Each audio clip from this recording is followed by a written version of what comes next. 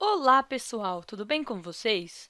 Na aula de hoje, iremos tratar sobre características de textos versificados. Vocês sabem o que são textos versificados? Já leram ou escreveram algum texto em versos?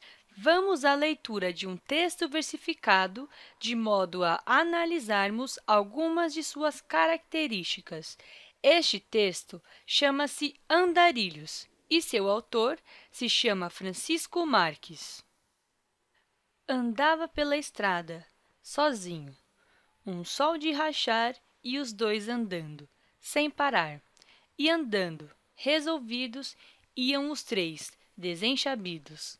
Os quatro não andavam à toa, buscavam uma terra boa. Com os pés doendo de tanto andar, os cinco pararam para descansar. E os seis se deitaram, dormiram, sonharam. No meio da noite, os sete acordaram e se arrepiaram. Dezesseis olhos arregalados, brilhando, viram o rio iluminado, o chão iluminando.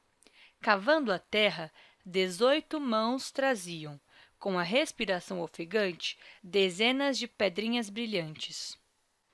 Depois de muito cavar, contar e reunir, os dez começaram a discutir. O centro da discussão era este. Onze andarilhos podem suportar tantos brilhos? Uma dúzia de ideias diferentes, uma ou outra interessante, mas nenhuma ideia brilhante. Com as palavras doendo de tanto falar, os treze resolveram silenciar. Deitados silenciosos, os quatorze buscavam uma nova rima, quando olharam para cima. Boquiabertos, ao som de quinze admirações, descobriram estrelas candentes, candentes em grandes porções e proporções. E aquelas dezesseis imaginações tropeçaram nas mesmas conclusões. As pedras são farelos de estrelas. Dezessete vezes pensaram e dezessete vozes exclamaram e declararam os dezoito andarilhos, acostumados a vagar de del em del. Essa terra tem parentesco com o céu. E dezenove caminheiros decidiram fincar o pé e se estabelecer. De agora em diante, aqui vamos morar, aqui vamos viver. Vinte vezes festejaram, quando uma voz desfestejou. Continuarei caminhando. Adeus, já vou. E desde que se foi ligeirinho, Posso dizer apenas que ele andava pela estrada sozinho. Este texto nos fala sobre um conjunto de andarilhos, ou seja, um conjunto de pessoas que percorrem longas distâncias andando, e nos apresenta também algumas descrições de suas trajetórias. Vemos, do começo para o final do texto, que a quantidade de andarilhos vai aumentando. Estes andarilhos admiram e sentem todo o ambiente por onde caminham. Com base neste texto, vamos analisar algumas de suas características para entendermos o que são textos versificados. Podemos dizer que textos versificados podem possuir diferentes formas. Eles podem ser escritos com a forma de um poema ou a forma de uma prosa poética. E neste texto que lemos, encontramos a forma da prosa poética. A prosa poética consiste na produção de textos com a função poética, mas com versos longos, assim como na prosa presente nos romances e contos, diferente dos poemas que possuem versos curtos. Os textos versificados podem ser escritos por meio de versos e podem possuir rima, métrica e refrão. A rima é construída por meio da repetição de um mesmo som ao final ou meio de ao menos dois versos num texto. Por exemplo, neste texto que lemos, vemos algumas rimas, uma dúzia de ideias diferentes, uma ou outra interessante, mas nenhuma ideia brilhante. Os quatro não andavam à toa, buscavam uma terra boa. Nestes excertos, vemos a palavra interessante rimando com a palavra brilhante e a palavra toa rimando com a palavra boa.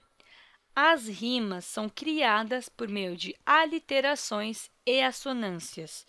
As aliterações são construídas por meio da repetição de mesmas consoantes e a assonância por meio da repetição de mesmas vogais. Em interessante e brilhante, vemos a repetição da porção ante, sendo assim uma rima formada pela aliteração e pela assonância. Ao passo que em toa e boa, vemos a rima das vogais oa, formando então uma rima pela assonância. Porém, devemos nos lembrar que os textos versificados não precisam ter rimas. As rimas também são responsáveis por criar frases com ritmos e musicalidade, e isto faz com que os textos e versos sejam fáceis de lembrar. Ao ler os versos, podemos analisar o efeito sonoro proposto pela rima, se é de uma leitura mais rápida ou mais lenta, se traz efeito de texto ou de música. Nesta obra que lemos, vemos a característica de texto presente e, por isso, este recebe o nome de prosa poética e não de poema. Outra característica presente nos textos versificados é a presença da métrica. A métrica consiste na produção de versos com a mesma quantidade de sílabas poéticas, ou seja, se pegarmos os versos e contarmos suas sílabas, iremos encontrar a mesma quantidade de sílabas em todos os versos.